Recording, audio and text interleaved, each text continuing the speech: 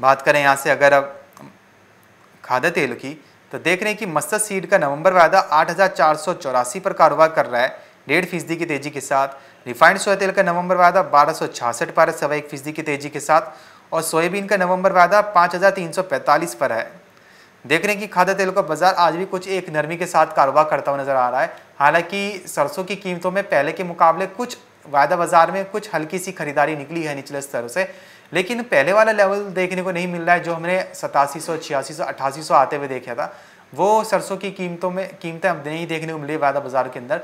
भले ही स्टॉक कम हो, लेकिन अब जो सेंटिमेंट बनते हुए नज़र आ रहे हैं सरसों के, वो कुछ इस प्रकार हैं। जैसे कि जो बुआई अब जैसे सरसों की चालू हो जाएगी या हो चुकी है कई जगहों पर तो फ़सल थोड़ी लेट आने, आ सकती है मंडियों के अंदर। दूसरा, अभी जो सरसों की बुआई चल रही है, उसका जो, उससे जो उत्पादन होगा, वो दोगुना होने का अनुमान लगाया जा रहा है, क्योंकि इस बार सरसों किसानों को काफ़ी अच्छी कीमतें मिली हैं, जिसकी वजह से किसानों का जो रुझान है, अन्य फ़सलों की बजाय सरसों की तरफ़ भी बढ़ा है। तो अगर सरसों का उत्पादन ज़्यादा होता है, अभी तो फ़िलहाल जानकार और विशेषज्ञ दोगुना बता रहे हैं कि इस साल जितना हुआ है, अगली अगली फ़सल में उससे ज़्यादा देखने को मिलेगा, लगभग दोगुना देखने को मिलेगा। अगर ऐसा होता है तो सरसों की कीमतों में नरमी देखने को मिल सकती है, क्योंकि आवकें ज़्यादा बढ़ जाएँगी। तो जो सप्लाई है मार्केट के अंदर, मंडियों के अंदर, भरपूर रहेगी। अगर किसान कंटिन्यूसली लाते रहते हैं, रोक रोक कर नहीं लाते हैं तो।